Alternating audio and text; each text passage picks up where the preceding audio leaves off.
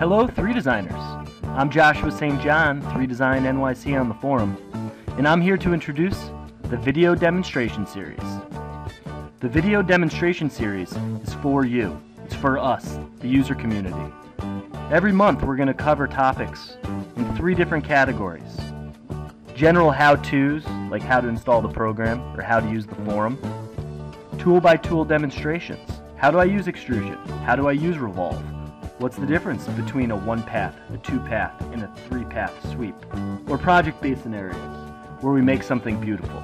The goal is for all of us to rise above the how-tos and be able to unleash our creativity, to be able to get past our learning curves and start to make beautiful things.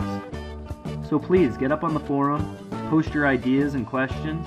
Also, check out 3Design USA on Twitter and Facebook, and enjoy the first installment of the video demonstration series.